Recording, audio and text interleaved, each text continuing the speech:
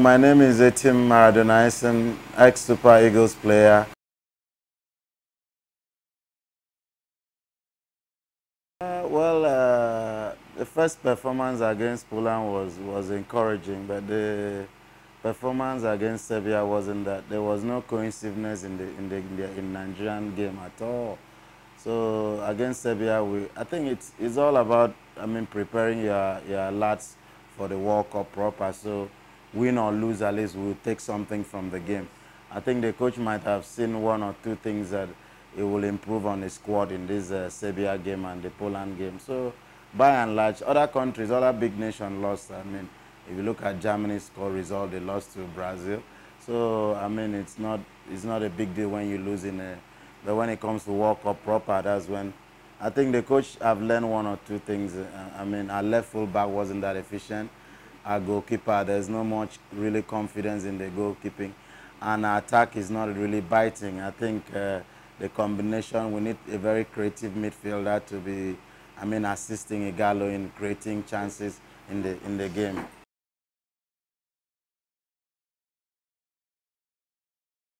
Uh, we, need to inject a creative player to assist. You know, now in world football, the accounting assist time is not on our part. And time is not know, on our part to do that. I think uh, if we can have a good, like the days of JJ, my days Henry Nwosu, you know, creative, somebody who can change change the concept of a game, who can make a difference in the game. That's what we're really lacking.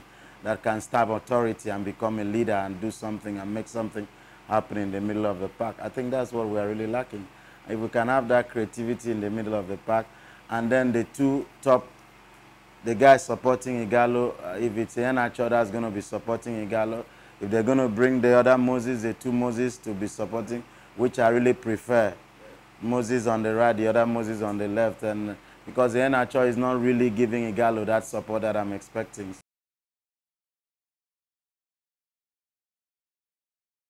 Uh, but Ighalo, you know, Ighalo's striking pattern is very, very. He's just a striker who, if he has a chance, he can finish. But he cannot create that chance himself and, and take on one or two defenders and do the finishing. So I think he needs that creativity from the middle field that can supply him. The, the supply line has to be there for him to really deliver.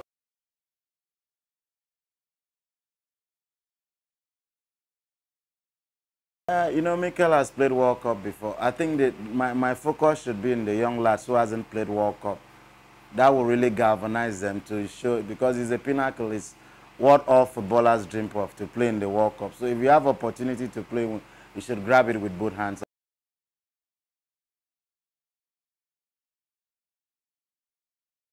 help us a lot because, I mean, the age is on our side, the pace is on our side. I mean, experience wise we might not have it because it's only Musa, Musa, Mikel, Onaze and about four of them that has played World Cup proper. So I think in the World Cup is a different ball game. You have to play your best in the world. All the countries coming to World Cup will bring their best players. So I think we should have in hand to get all our best we can to go to the world.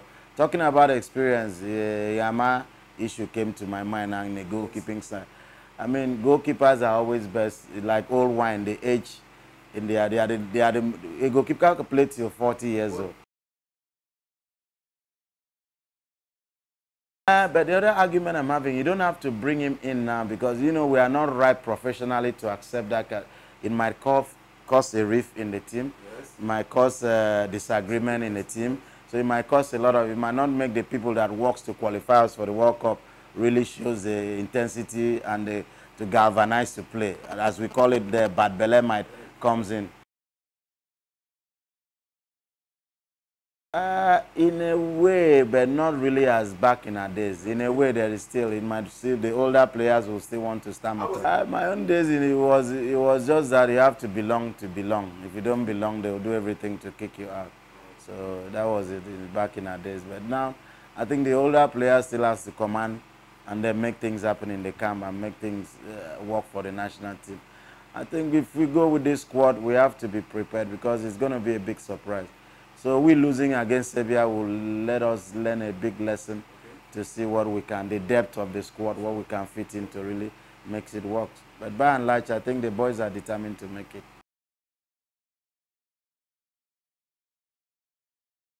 Uh, the first game is always very, very crucial. Our first game will really determine how far. Thank God we are playing Argentina the last game.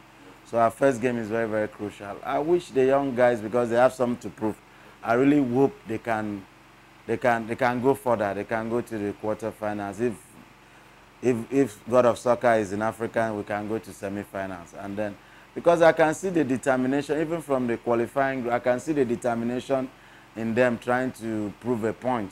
So if they can take that, galvanize that to the World Cup, I think it will really help us a lot.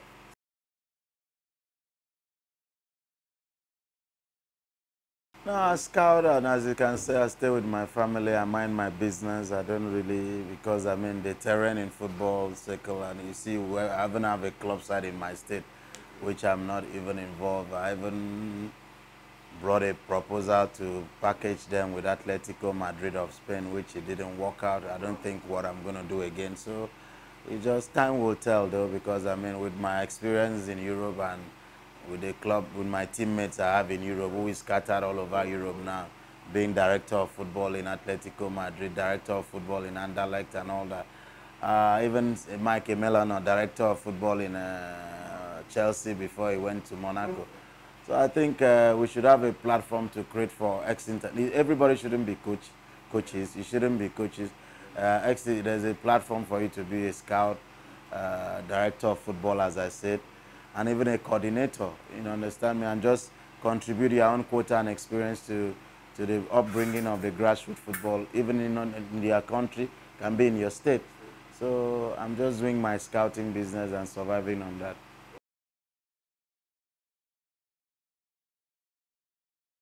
I've, I've, I've, been scouting around. I've been scouting around, giving the unprivileged players opportunity. I've, I've been consulting. I mean, recommending them. Now that they're going to start under 17, maybe I'll recommend one or two of them to whoever is going to handle under 17. I know it might be one of my colleague or one of my teammate or one of my friends. Definitely, it will fall into that category.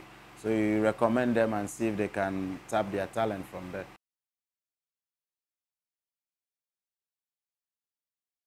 Uh, I didn't have, FIFA didn't ban me. It was all the cartel, as you said. It was all Keshi, late Keshi and uh, Westerhof and all that that day.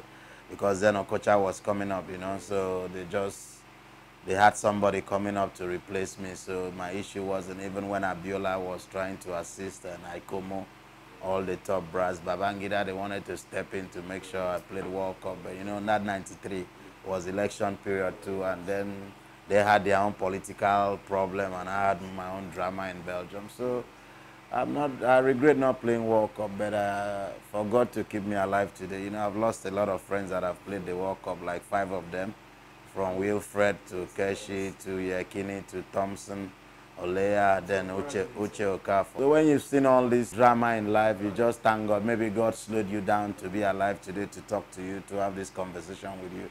Because uh, if you have all that glory and it all goes in vain, what will you do? You will thank God for keeping you alive now. So I cherish my life and I thank my God for keeping me alive.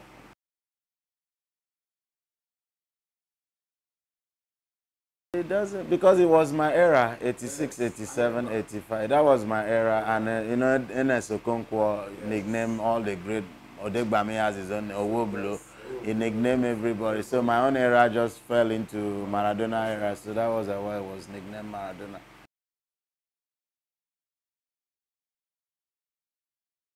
I do cycling once in a while. I, I have a son now. I have part time I have now just to take him and take a walk around the estate here and walk with him and try to encourage him to play football, which he is not. Hopefully for Nigeria. He's not interested yet, but one day he will tell he will be interested.